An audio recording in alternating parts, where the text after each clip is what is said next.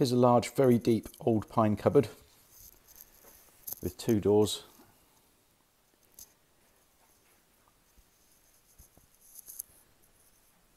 Nice and clean and tidy and very sturdy. Currently in the bare wood, but obviously can be waxed for you or painted. If you want, if you want um, a price for painting, just let me know.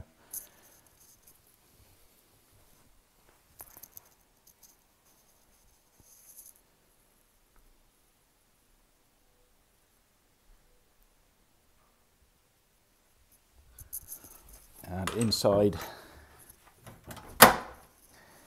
there's currently just a single shelf but somebody has at some point fitted these zigzaggy bits on the side so we can fit adjustable shelves for you if you'd like us to.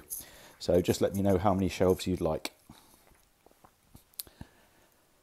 And the doors are mounted on these French style external hinges which means the doors open nice and flush, which could be useful. So obviously doesn't dismantle, so if it's going up, up stairway or tight corners, just be a good idea to have a measure first, just to make sure it'll go up okay, because it is very deep. In fact, the internal depth is 22 inches. So that's the hanging space inside 22 inches. So it could be used as a wardrobe. Maybe a children's wardrobe. I could put a hanging rail at the top, you can just let me know what you'd like to do. Code number is C8705C. The price is 490 as it is. It'll be 547 if you'd like it waxed. Height 53 inches. The width at the widest point is 42 and a half.